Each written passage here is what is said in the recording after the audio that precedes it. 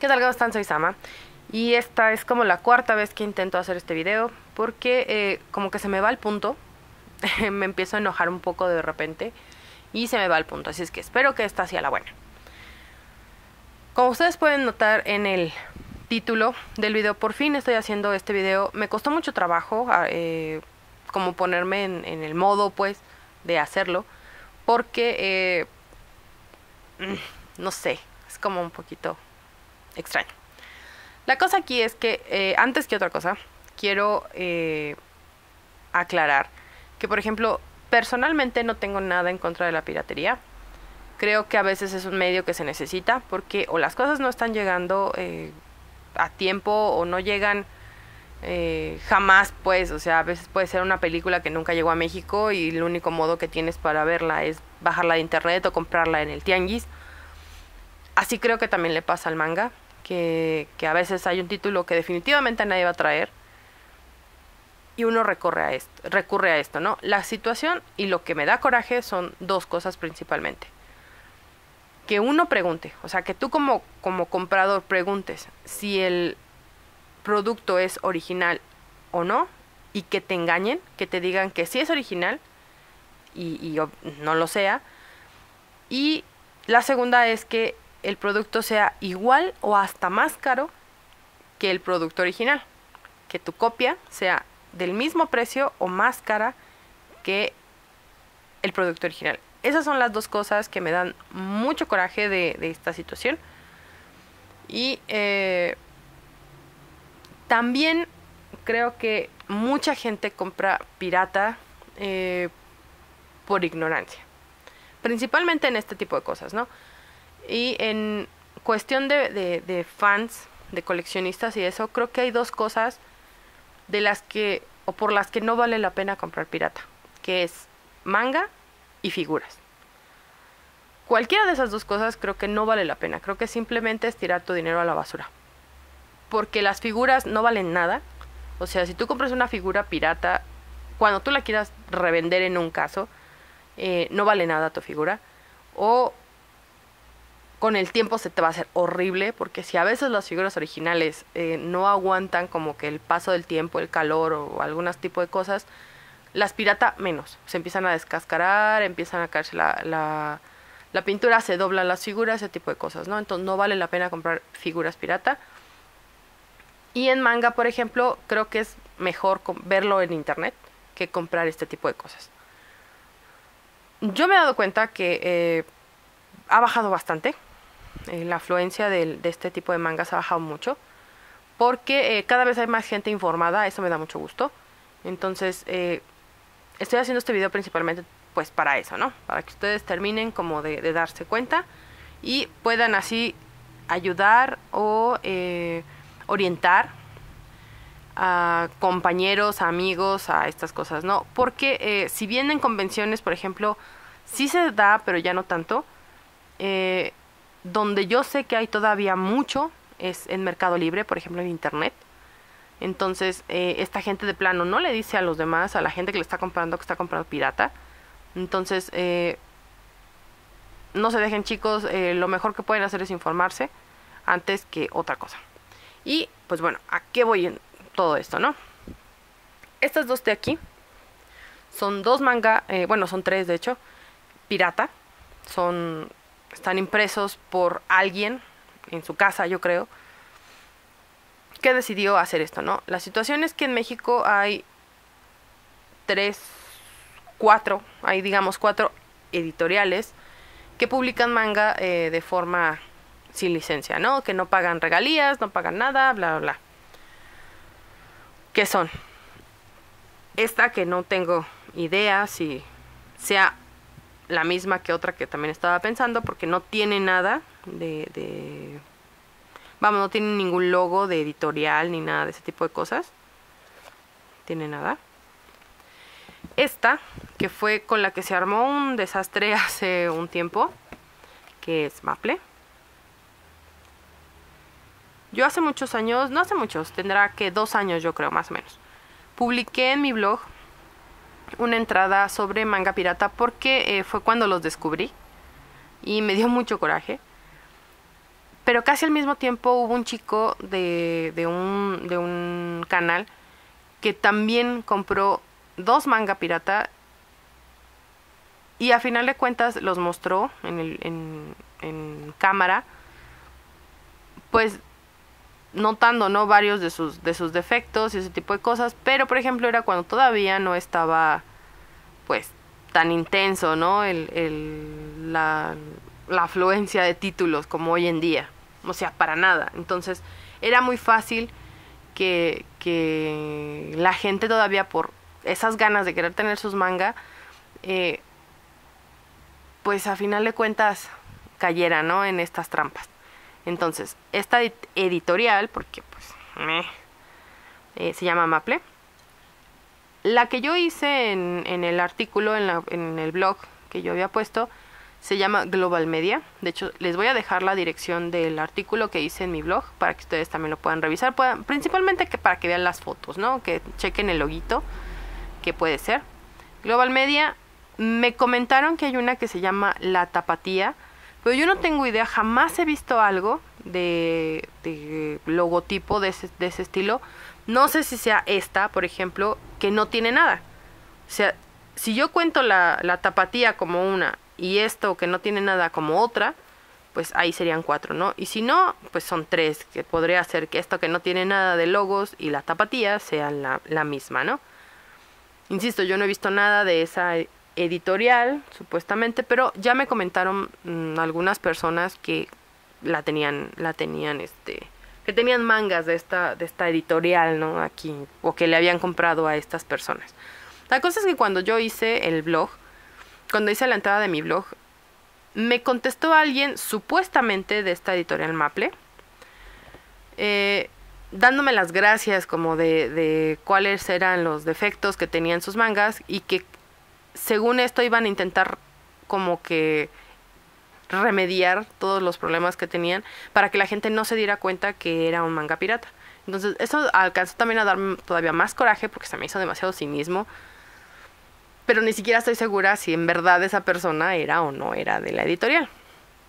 Entonces, pues bueno, la cosa es que eh, estos mangas siguen circulando y por ejemplo, ahorita me da miedo porque eh, uno de los que más he visto pirata, así de esos así totalmente pirata, es el de Nanatsu no Taisai. Y por ejemplo, no tarda en salir en México. Eh, ya lo anunció Panini, se supone que sale en unas dos semanas aproximadamente.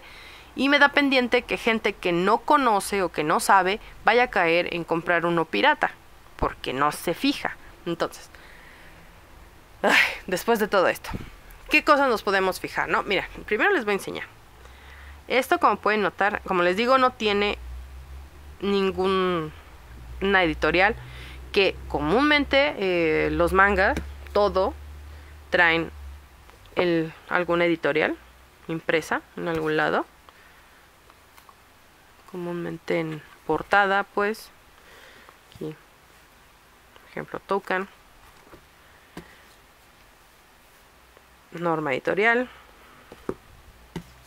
Esto era de Bid. Pueden checar ahí.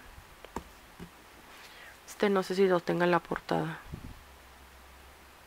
No, pues no. Estos son de Camite, por ejemplo, pero no lo tienen en la portada. No tiene el, el logo. Lo tiene aquí de lado. No se alcanza a ver, pero bueno, ahí lo tiene, ¿no? El punto es que debería tener la editorial visible. Una cosa es que en este caso, por ejemplo, no tiene nada de editorial, pero en estos sí la tiene. Tiene aquí su disque marca de editorial, ¿no? Entonces, el título también está totalmente en japonés. Ni siquiera está traducido de ningún lado, cuando se supone que también deberían venir traducidos. O sea, por lo menos que en algo que tú puedas leer, ¿no? Deberían venir, deberían venir así en algún modo en el que tú puedas leerlo, no en japonés. Ya, cuando viene en el lomo, lo mismo, ¿no? O sea, también aquí la, la mangaka en este caso, aquí abajo sí, sí dice, pero por ejemplo aquí al lado ya no. Pueden checar. No tiene nada, o sea, sigue igual sin traducir. No tiene editorial en ningún lado. Y, por ejemplo, el nombre de la mangaka tampoco está traducido.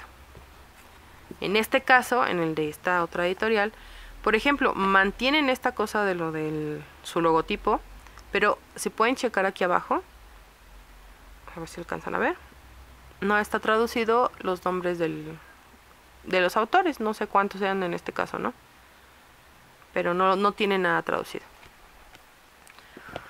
Ya además, en la parte de atrás, por ejemplo, como ya les hayan enseñado, pues no tienen nada. Se supone que el, los libros, en este caso, digamos, manga, deberían traer un código de barras en la parte de atrás.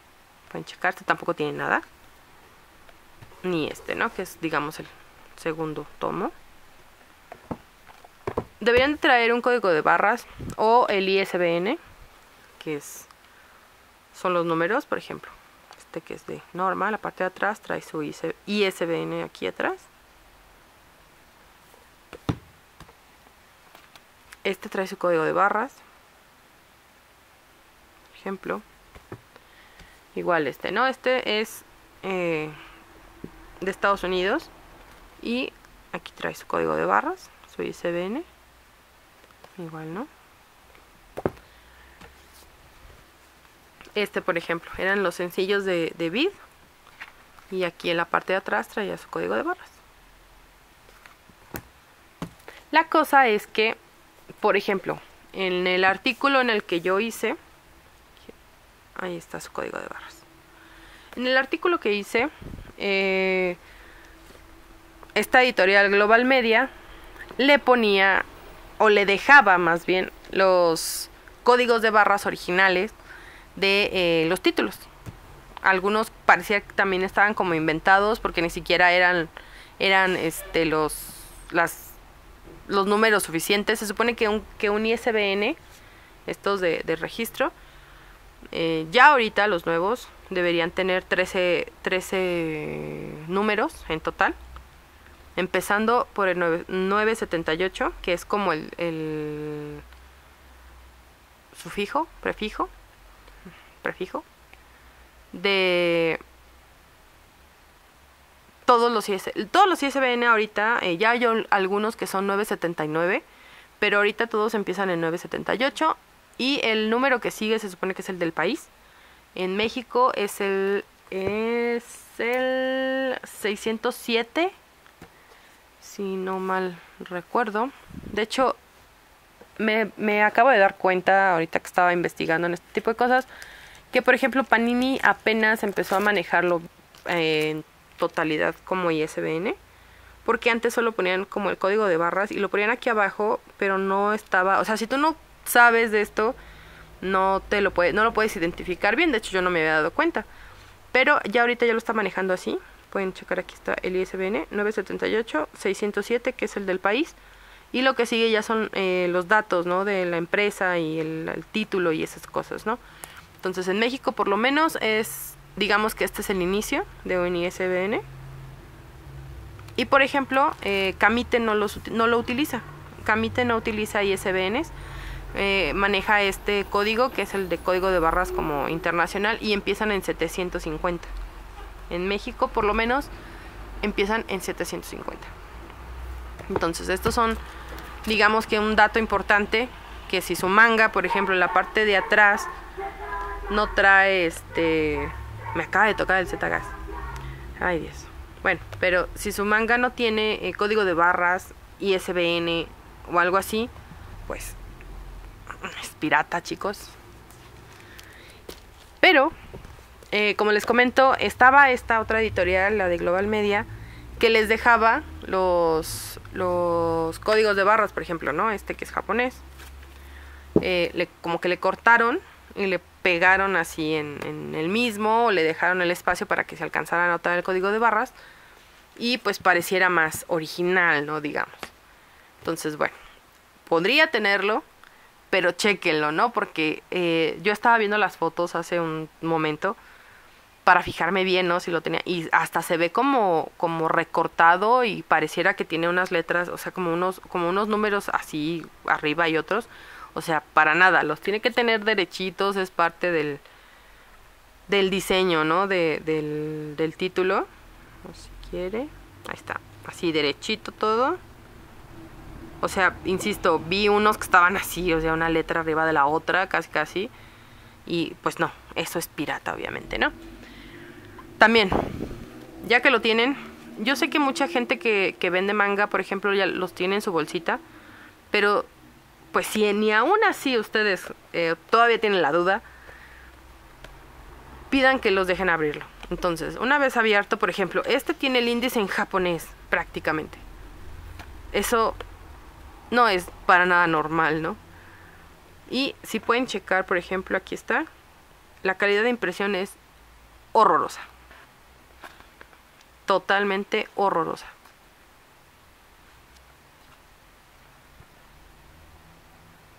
Chequen.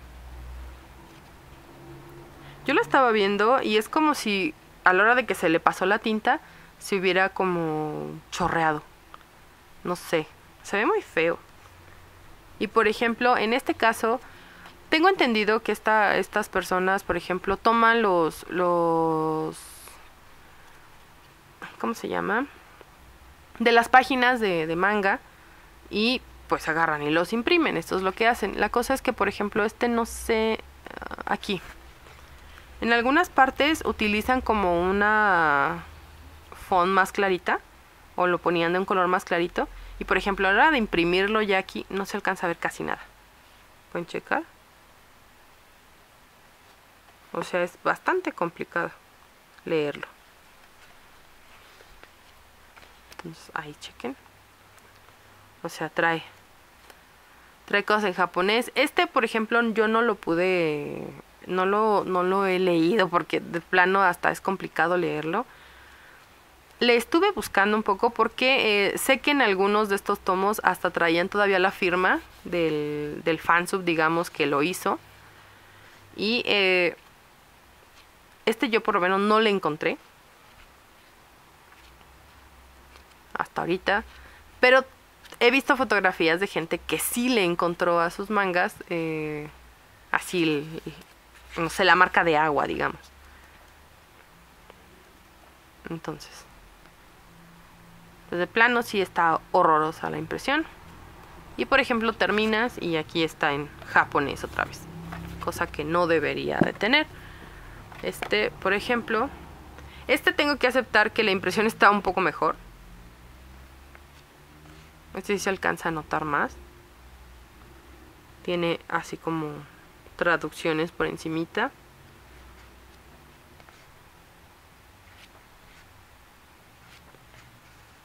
Pueden checar.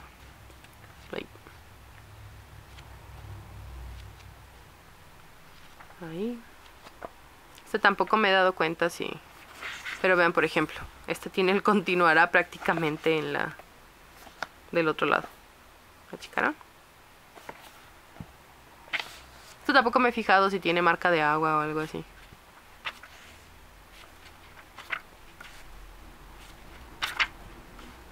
Entonces, ahí está. Esto, por ejemplo, del final, eso sí es algo importante. Una de las cosas que ustedes le pueden revisar a un manga, si están en duda de que sea original, es el esta hoja se llama eh, página legal, digamos, es así como le, dicen, que trae precisamente los datos de, eh, de traducción, de, de autores y todo eso. Esta va a ser esta, yo creo. Se supone que debería traer eh, datos del editor. Tiene que traer el año de edición, o de reimpresión y debe de traer eh, el ISBN en un dado caso que lo tenga aquí por ejemplo aquí está el ISBN están los datos de la editorial está de cuándo se editó mm. Mm. pues bueno aquí dice que del 2008 y ese tipo de cosas este por ejemplo en el de eh, norma ahí hasta me acabo de dar cuenta que dice que fue impreso en Estados Unidos. Por ejemplo, este es de México, este es de Camite. Hay que checarle atrás. Y aquí, ¿no? Aquí tiene. Igual, los datos de el, la editorial, Aquí todo, ¿no? Traducción, todo, todos sus datos generales, ¿no? Todo en español, obviamente. Por ejemplo, aquí, cuando salió. Y aquí abajo, por ejemplo, la fecha de impresión, 28 de abril del 2017. Primera edición, impresa y editada en México. O sea, son esos datos que tiene que tener, ¿no? En estos casos. Por ejemplo, el... Vámonos a uno también de México, como el de Vid que igual tenía todo acá atrás, ¿no? Impresa y editada en México, el año, igual aquí arriba todos los datos de la editorial. Y aquí abajo. Datos del manga. Ahora uno de este de Panini. Más que bueno uno que esté abierto ya.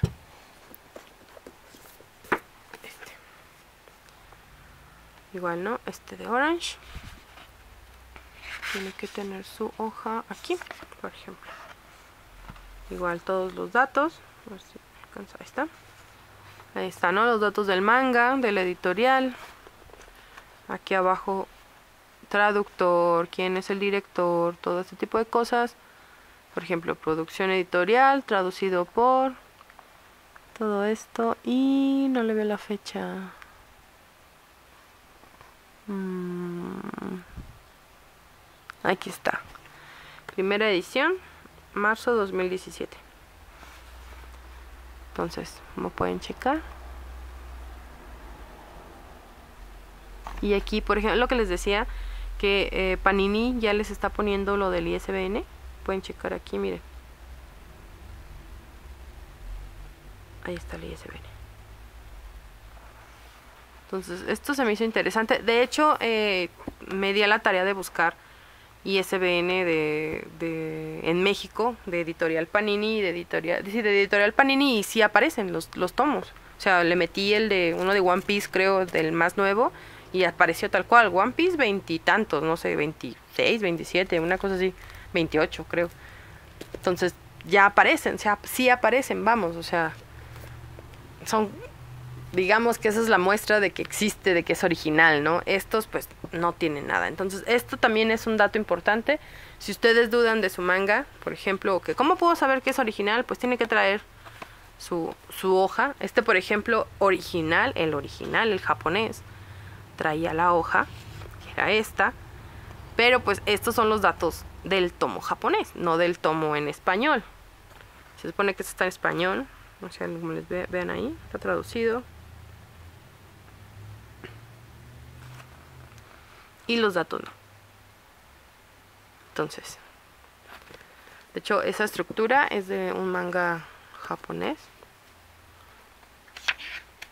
Mm. Aquí está. Sí, aquí está. Más o menos así.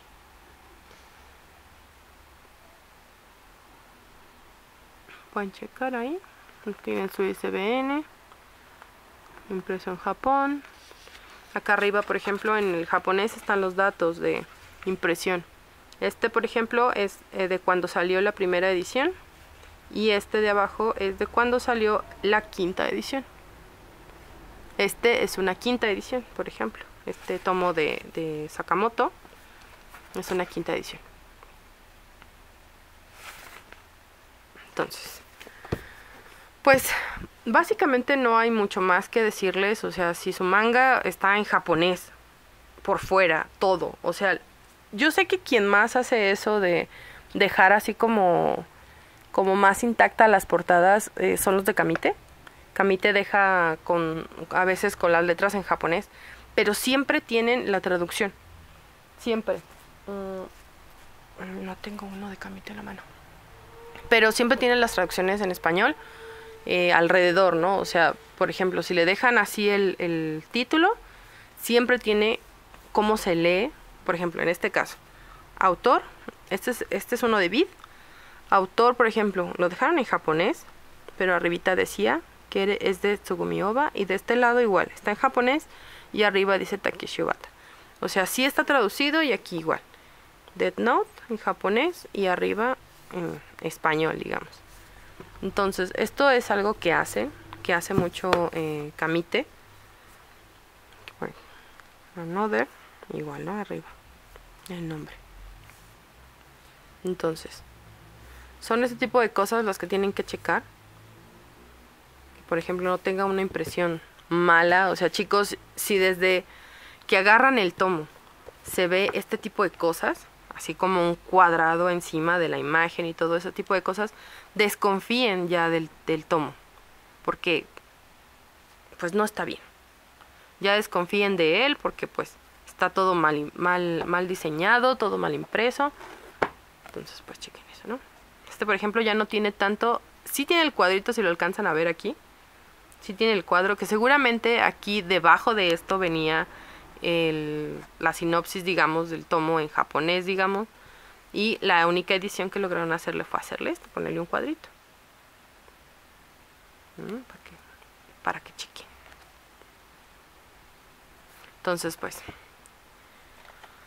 ya más que nada hacia adelante es ir haciendo callo, porque eh, pues no hay de otra, ¿no? O sea, tienen que tomar en cuenta esas cosas. Necesitan investigar. Si ustedes van a comprar manga eh, que no se está publicando en México, o sea, que no es de Camite ni de Panini, Panini México, que no es ninguno de los títulos que se publica en México, si ustedes van a comprar un tomo